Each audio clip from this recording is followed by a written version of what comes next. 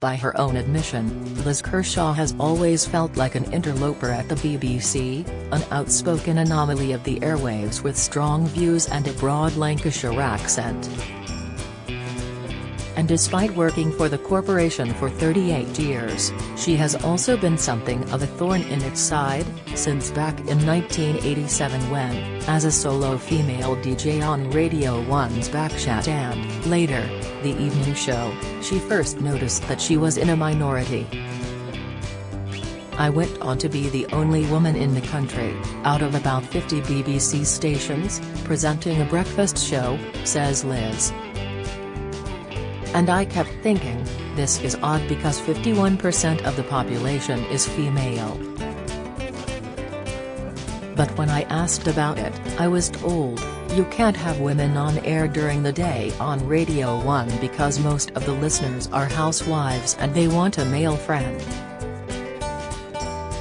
That was the policy that persisted on Radio 2 until about 2009 when Zoe Ball took over the breakfast show over a number of years, using BBC schedules, Liz compiled a report for then Director General Mark Thompson, before he be-ed off to the New York Times, which she called Just 17, based on the teen magazine of the same name.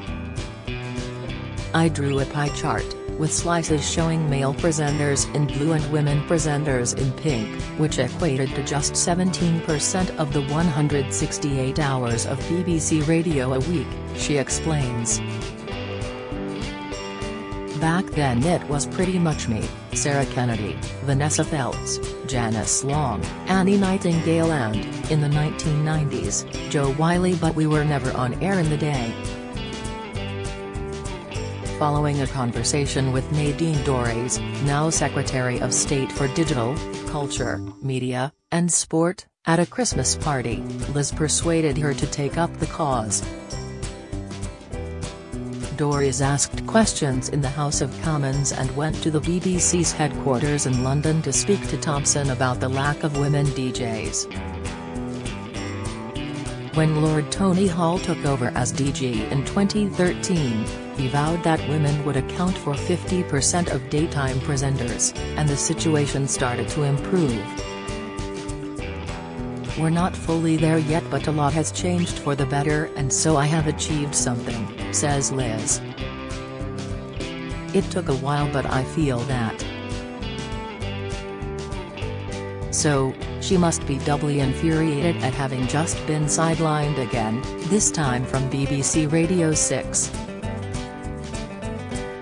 She was one of the original presenters on the digital-only music station when it launched in 2002 and battled to save it when it was threatened with closure by Thompson.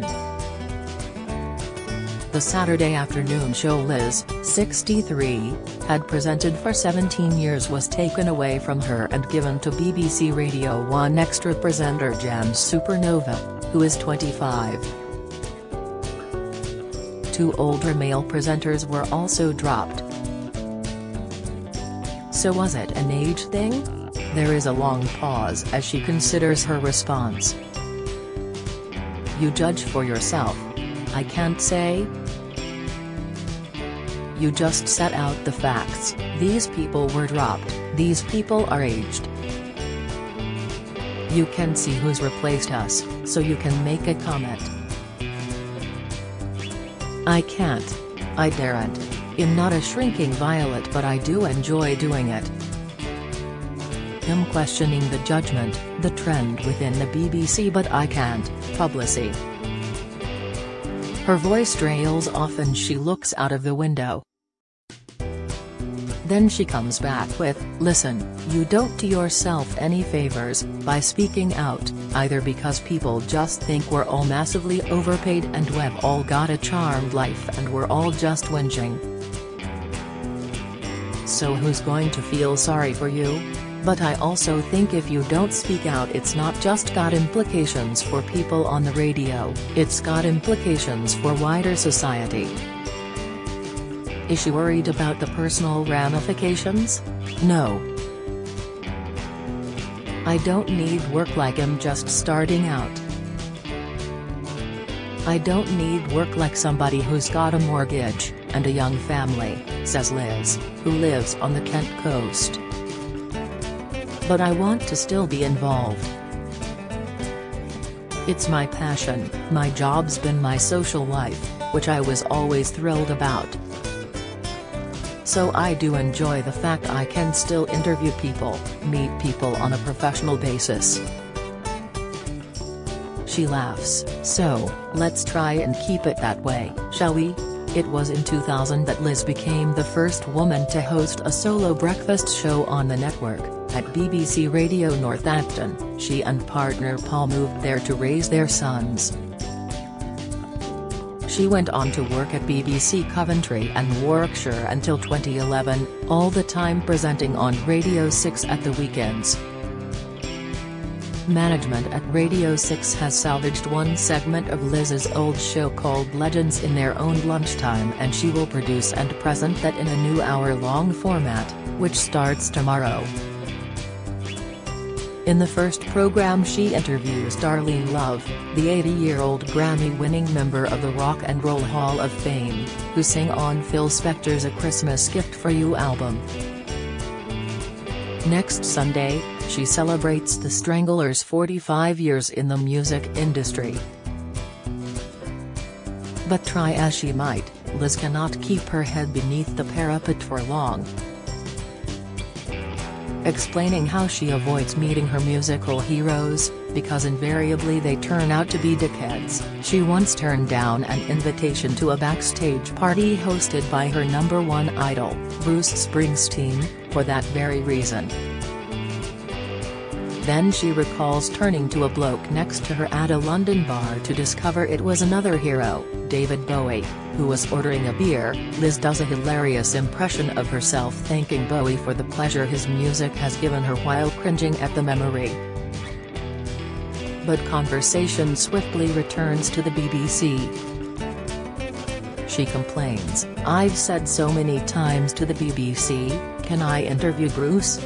And it's been a no and then I've sat there and watched somebody, not a fan, someone pretending to be a fan, all sycophantic, coming out with all the cliched stuff. Liz and her younger brother, old grey whistle test presenter and DJ Andy, were raised by their school head teacher parents in Lancashire. Weekends and holidays entailed educational visits to castles and museums and instead of watching TV in the evenings, the Kershaw children were expected to sit at the table and write up what they had learned.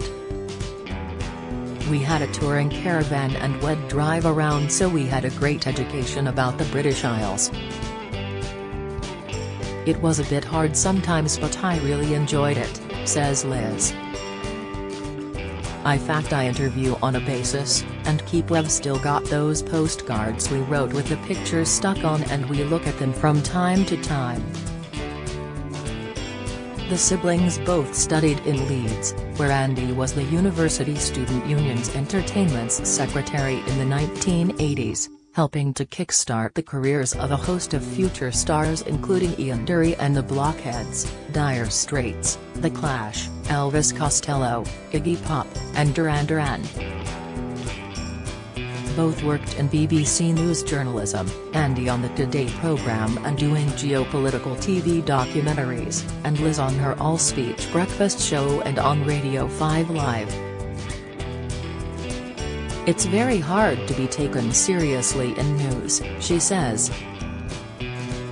I presented Live for several hours on September 11 but there was a feeling like, can she do this because she likes pop?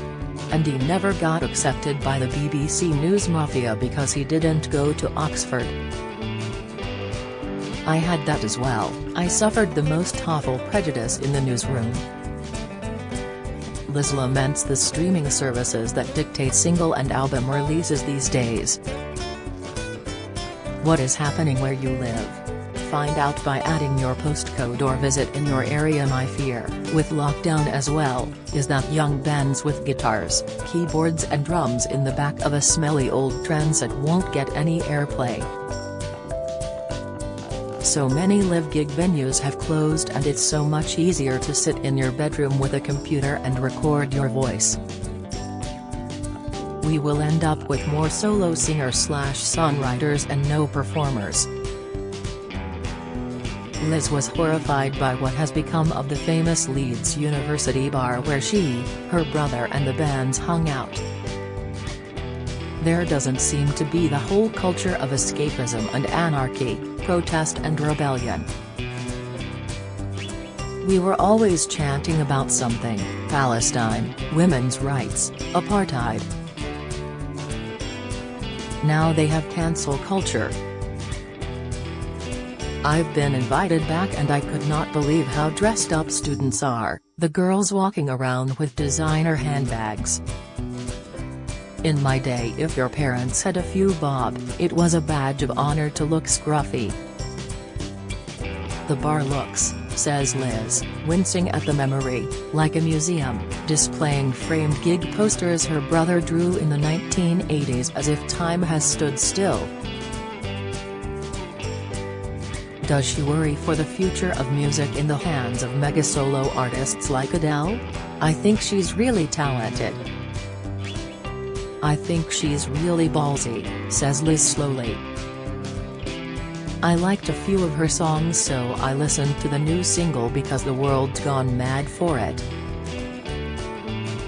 I thought bloody hell that's dismal and formulaic, am not going to wake up singing that in the bath in two years time. Legends in Their Own Lunchtime is on every Sunday, 1 to 2 p.m., on BBC Radio 6.